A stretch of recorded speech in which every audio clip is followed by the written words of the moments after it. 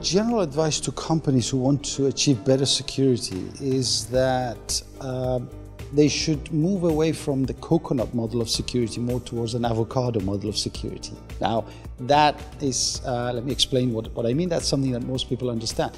So, coconut model of security is mainly around putting security around your perimeter, making sure that you have a hard boundary and not let the bad guys get in.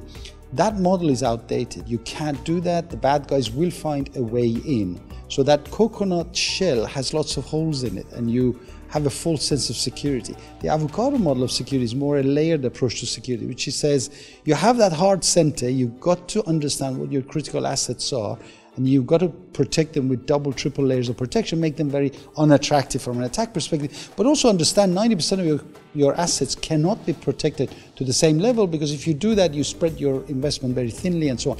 And so you have uh, appropriate level of security for the level of criticality of the asset. For the very critical assets, you spend 90% of your investment putting double, triple layers of protection. For everything else, you put monitoring and detection.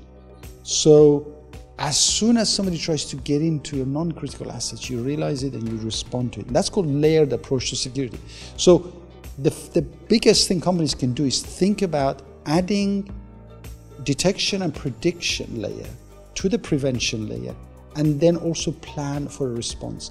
Most companies take 31 days to respond to an attack after they've discovered it.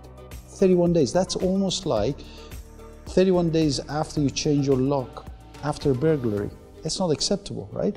So my advice is to think differently about security and to use technology where appropriate to give you real-time or advanced notice of breaches to your systems and then plan for the response. AI is a great technology, right? A lot of us are going to be using AI in our homes and our businesses and so on. But AI has certain vulnerabilities. I mean, there are certain known vulnerabilities to AI systems that would make them uh, a target. For example, poisoning attacks on machine learning systems, right? So the first approach to securing your innovations is to understand the vulnerabilities of the system and plan for uh, uh, how to secure them. Sec second approach is secure by design. So don't think about security after you innovate. Do the security during the innovation process. So think of it as a necessary step before you introduce new technology or you build a new product or service.